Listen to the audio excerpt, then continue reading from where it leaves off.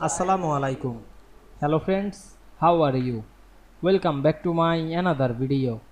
In this video, I am going to show you how to add header in PowerPoint to every slide.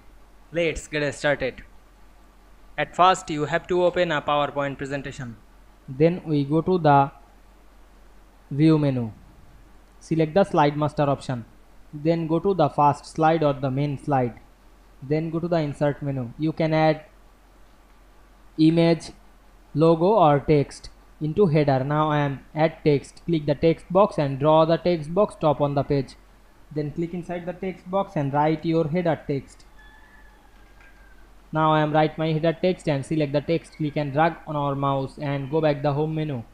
Make the alignment center and move the text box middle on the page then go back the slide master option and close the master view.